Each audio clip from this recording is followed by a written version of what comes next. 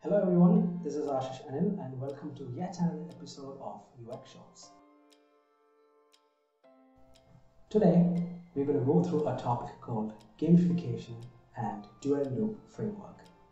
Right off the bat, let's begin with a quote by Jane McGonigal, an American game designer and author.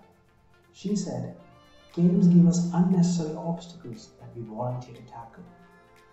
We are inclined to do this maybe because it's fun, but it makes us think. Despite being efficient and usable, we are in fact creating very serious user interfaces. Maybe we have to dial down that a bit. Maybe.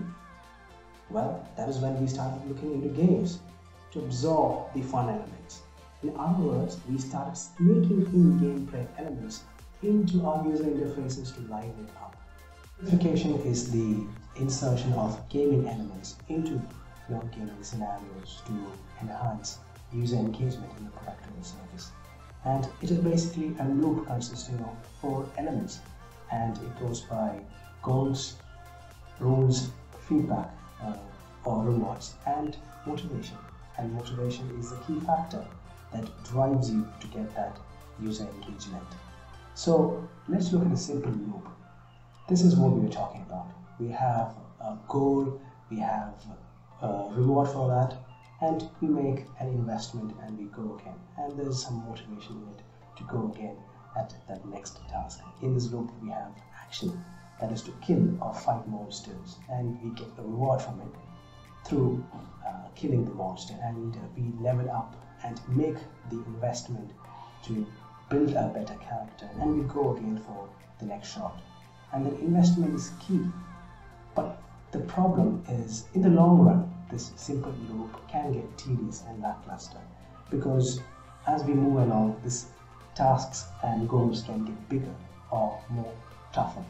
And we might need more investment into that and it can tire users a bit. This is when a dual loop framework comes in and how it helps is that we just explore this simple loop into inner and outer loops. Where in the inner loops, we have minor tasks or minor actions to do, and we get minor rewards for that. And in the outer loop, there are major actions and major rewards for it. But in either way, it is not disappointing because you are encouraged to go front foot in either case and do the task. Now let's take a look at two companies that have invested in loop frameworks, one being Waze and one being Google Maps. Both are map-oriented products and for a better perspective, let's look into what Google Maps is doing. Here, the inner loops is basic rating systems perhaps. You know, you rate a service and the bigger task can be write a review about a service or maybe take a photograph. And all these things add up to reward you with points and the accumulation of the, those points in fact you know give you bigger things like maybe a freebie that Google cares to give away who knows? And apart from all this the driving factor that Google is looking for in the key element of motivation is that to help build a better Google Map community with that we wrap up today's session. That's all folks. Thank you for watching and see you in the next one